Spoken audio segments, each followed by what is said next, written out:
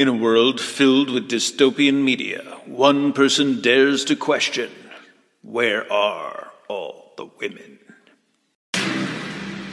Femininity in the post apocalypse.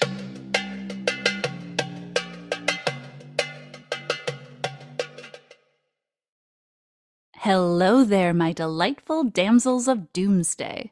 You're listening to the trailer for Femininity in the Post Apocalypse, a feminist exploration of dystopian media. I'm your host, Klaire Lockheart. I am an artist who specializes in oil painting, fiber art, and curating feminist art installations. I'm a huge nerd who adores end of the world artwork, movies, and books. But unfortunately, women, two spirit, and non binary people are often mistreated or completely missing from this genre. For each episode of this podcast, an amazing guest and I will discuss dystopian media that impacts us and our work.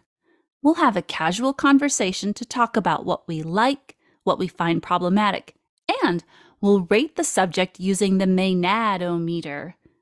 This evaluation system is named after the Maenads of ancient Greece, who liked to drink wine, party in the woods, and occasionally destroy those who oppress them.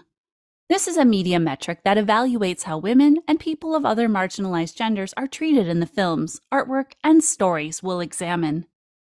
I'm excited to share these discussions with you, my wonderful friends. I can't wait for you to listen to the very first episode of Femininity in the Post Apocalypse.